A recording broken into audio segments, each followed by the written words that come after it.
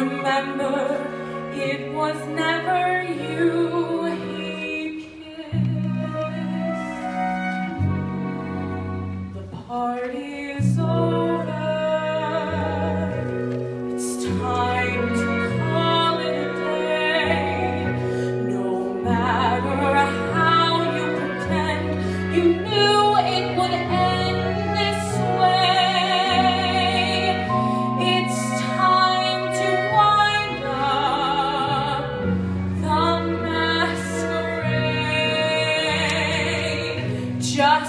make your